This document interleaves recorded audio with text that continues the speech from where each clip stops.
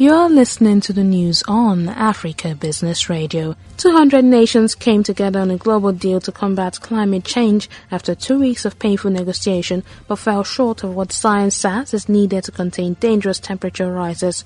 Rich countries stood accused of failing at the COP26 summit in Glasgow to deliver much needed finance to vulnerable states that are at risk of drought, rising seas, fire, and storms. Britain's COP26 president Alok Sharma says it is now decision time, adding that the choices set are vitally important.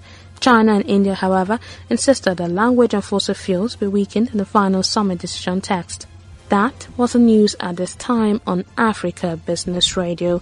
You can continue to listen live online at www.africabusinessradio.com or via a mobile app. I am Chikononso Modi and thank you for listening.